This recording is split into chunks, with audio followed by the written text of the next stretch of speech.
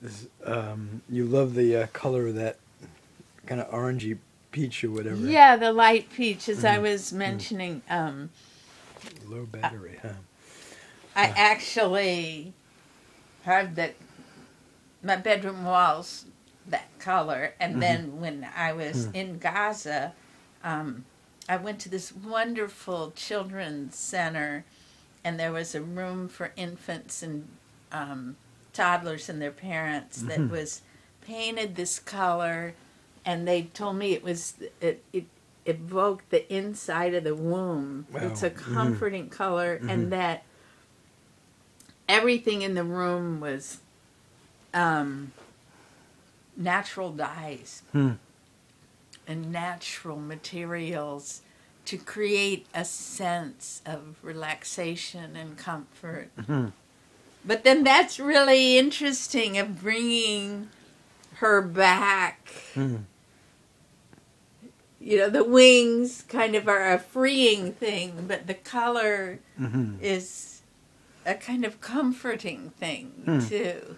So Of course, I didn't have that association. It's not coming back for me, but I'm glad to hear. yeah, it's coming not what it's you. not what you were intending. What what were you thinking of when you chose that color? I don't know. It just kind of happened. Um, that's the way things happens. What Sir Herbert Read, the late British art historian, uh, describes as the magic of art making, which I believe firmly in. Yeah, So let me tell you who these two people were. yeah. This was um, Sister Maura Clarke, born in Queens, New York, Oh, yeah, missionary, Yeah, who got killed one of the th- raped and murdered in El Salvador. Salvador in 1980. Yeah. Oh. With three of the nuns, the same thing. Yeah. Fernando Brodsky, 22 years old. Um, he was uh, Argentinian Jewish, uh, Oh. un desaparecido, 1979, from the military regime. I'm assuming he was like pro-union, pro-left, something or other. I love that face. Thanks. So, I love it. Thanks. And then I love this color too. thanks. Actually, in some ways, this is a baby color too. Like they're both comfort colors. So the wings that uh, I chose to use, helped by a staff person at the ornithology lab at the Burke Museum, the um, uh, the wing I'm doing the draw. Both the wings are from birds from Argentina. There's some Oh, some beige in there. I've got to draw in there, and the wing that I chose from w- different ones I was looking at that the uh, collection specialist uh, showed me. The wing, his wing has like this iridescent kind of blue green in there, which I'm going to do in the uh, in the feathers. So the wing colors are going to match the undercolors I did. Um, oh, which you did a little bit here already. Yeah, because that this this wing is only half done. I'm working my way up. So then, It's a little golder. yeah. But it, I It has noticed, a little less yeah. of the peach, but it But I- picks up the sparkle.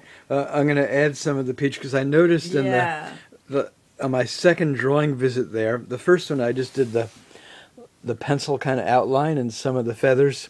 The second visit, which I did the other day, I began doing the inking. I noticed that there was actually some some of this kind of peach cream color in the feathers. So I've got to add that to the. Uh, the Naturally, drawing. it was in the feathers. yeah, yeah. How cool is that? So the wing I'm drawing with her is from a hawk. The wing from of uh, with Fernando uh, from a a uh, a teal, like a type of duck. Can we move this? please? Sure, and it was just okay. It's not okay. Not, sometimes it curls up because it's Oh, I see. Sorry about that. no, no, no. Go on the It's okay. It didn't it didn't bounce side. up totally. So I'm gonna say gonna- uh, gracias and uh, thank you, Beth. If I didn't mention Beth Harris, uh, uh, lived in Seattle for many years, now retired uh, PhD political science professor at, from Ithaca College, upstate New York.